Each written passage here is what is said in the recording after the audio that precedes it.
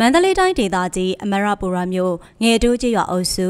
ရွှေလုံးရက်တွင်တည်ရှိတဲ့ပုပ္ပားမေတော်ကြီးချိုးရီတော်သုံးပွဲတော်ခမ်းနားအားစက်တင်ဘာ10ရက်မှာကျင်းပခဲ့ရာအနေနဲ့ရရမလာရောက်သူများဖြင့်စီကားခဲ့ကြောင်းသိရှိရပါတယ်။ပုပ္ပားမေတော်ကြီးရုပ်တုကိုနန်းနန်းအတွင်းမှပင်ဆောင်ကချိုးရီတော်သုံးပွဲတော်အခမ်းအနားကိုနန်းနန်းရှိတွင်ကျင်းပခဲ့ခြင်းဖြစ်ပါတယ်။ပွဲတော်ရဲ့မတိုင်မီနဲ့ပွဲတော်ရဲ့အတွင်းမြန်မာနိုင်ငံအတွင်းရှိအနေနဲ့ရရမကိုးကွယ်ယုံကြည်သူများဟာလာရောက်ကပန်းဆက်တာခြင်းများပြုလုပ်ကြကြောင်းသိရှိရပါတယ်။ရေတနာကူဖျားပွဲတော်နဲ့ပုပ္ပားမေတော်ကြီးနှစ်ပွဲတော်ဟာဝါကောင်လားပြည့်ကျော်9ရက်မှစတင်ကနတ်ညီလာခံများ10ရက်နဲ့9ရက်များတွင်တပ်ပွဲနှင့်6ပွဲများကျင်းပခဲ့ပြီး10ရက်နေ့တွင်ချိုးရီတော်ပွဲ17 12 73ရက်များတွင်တပ်ပွဲများနှင့်14ရက်တွင် ထိန်ခုတ်ပွဲ